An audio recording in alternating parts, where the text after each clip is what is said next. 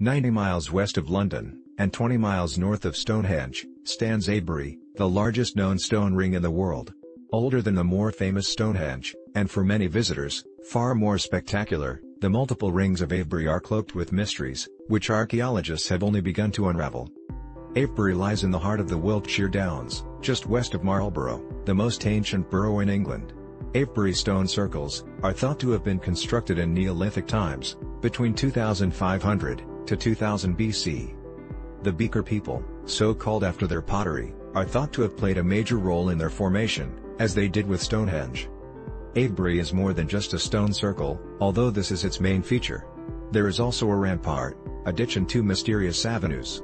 The rampart or bank is on the outside, then comes the ditch. They both have four entrances and enclose, some 28 acres, Inside these circles, none of the circumferences are perfect, is the stone circle itself. It once consisted of around 100 unquarried stones. Inside this larger circle, were once two smaller circles.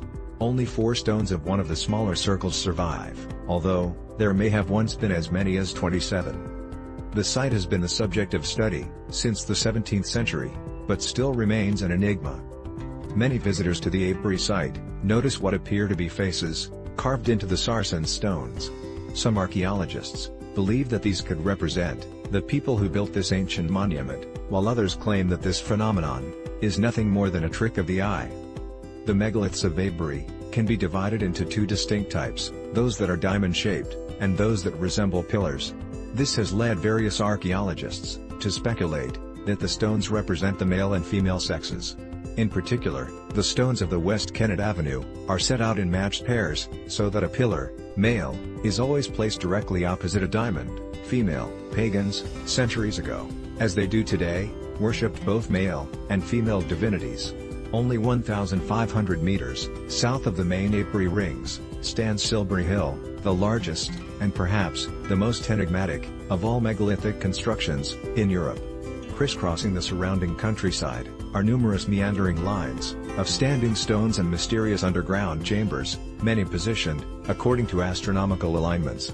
Perhaps the most astonishing revelations of Avebury's ancient grandeur have come through the recent research of John Michell, Paul Broadhurst, and Hamish Miller. Drawing upon legends and folklore, archaeological excavations, and dowsing, these specialists have determined that the Avebury Temple was part of a vast network of Neolithic sacred sites, arranged along a nearly 200-mile line, stretching all across southern England.